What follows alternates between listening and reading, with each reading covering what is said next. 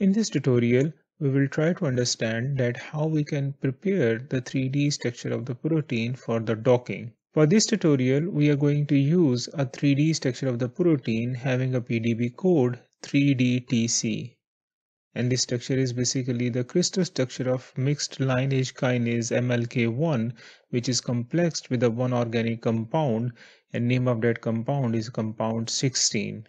As you can see it here that this structure is determined by using X-ray diffraction analysis and its resolution is 2.6 Angstrom. Now let's download this structure. To download this structure, we will click here on this drop-down menu and then we will click on this PDB format. As we will click on this PDB format, the 3D structure of the protein will be downloaded in our system. So let's save this 3D structure of the protein in docking1 folder. So as you can see it here that our 3D structure of the protein is downloaded in our system. Now let's copy the path of this folder. To copy the path of this folder, click here on this address bar. The whole address of this folder will be highlighted in front of you. Please copy it by pressing the Ctrl C. Now let's open the MGL tools. To open the MGL tools, click on this sign. When you will click on this sign, the two windows will pop up in front of you. One is this black color window, while the second one is this one. After the few moments, the full MGL tool will appear in front of you. So let's maximize it. Now move to the file and then move to the preference and then click on the set. Here come to the startup directory and paste your folder address. Then after pasting the address, click on the set and then click on the dismiss. Now your folder is selected.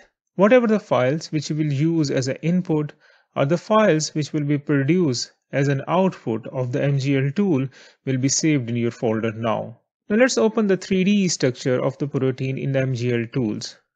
To open the 3D structure in the MGL tools, click on the file and then click on the read molecule. When you will click on the read molecule, your folder will appear. And here in this folder, please select the 3D structure. When you will select the 3D structure, then your 3D structure will come in front of you. Now, you need to prepare this 3D structure for the docking. We hope so that you have a good idea about the theory of 3D structure preparation for the docking. So, what we need to do? The first step, we need to remove all the non-protein components from the 3D structure. In these non-protein components, the first thing is the water molecules. To delete the water molecules from the 3D structure of the protein, let's move to the edit.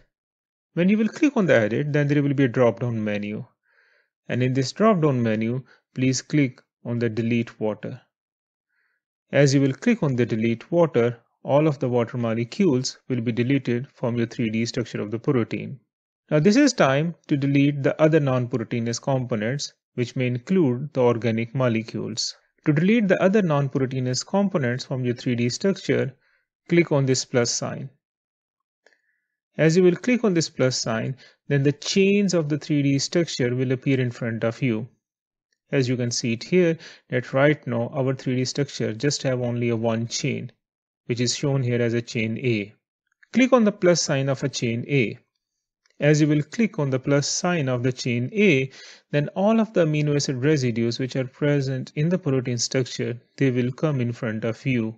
Let's scroll it down and let's move to the end. At the end of amino acid residues list, you will find out the non-proteinous components which may be present in your protein. As you can see it here that there are the two non-proteinous components which are right now present in our protein structure. The one component is a sulfur, the second component is a Win6331.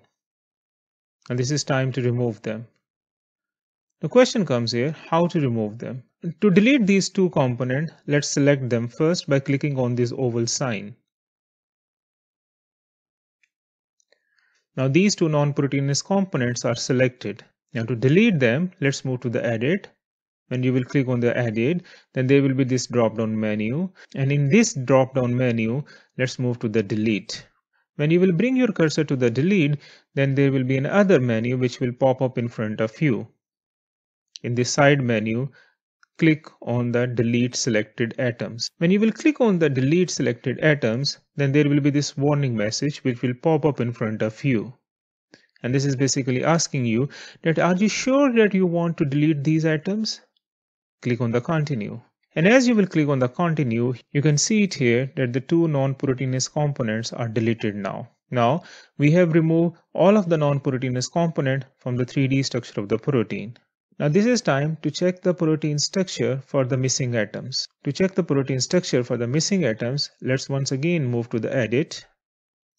As you will click on the edit, there will be a drop down menu and in this drop down menu, let's move to the miscellaneous. In the miscellaneous, then move to the check for missing atoms. When you will click on check for the missing atoms, then all of those amino acids which have a missing atom in their side chain, they will come in front of you. Now select all residues and click on dismiss. Now you have selected all of those amino acid residues which have a missing atoms in their side chains. Now this is time to fix them. How to fix them? Let's once again move to the edit and then come to the miscellaneous. This time, let's move to the repair missing atoms. When you will click on the repair missing atoms, then the repair process will begin. And it may take some time. How much time it will take? That will depend upon the total number of the missing atoms which are present in your 3D structure.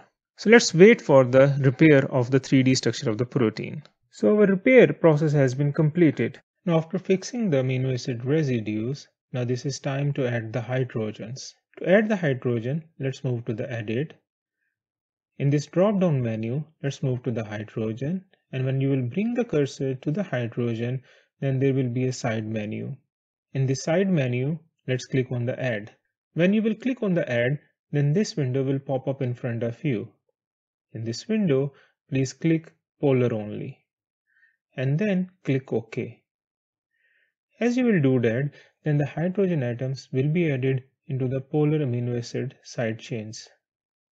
These hydrogens may contribute in building of hydrogen bonds with the ligand molecule.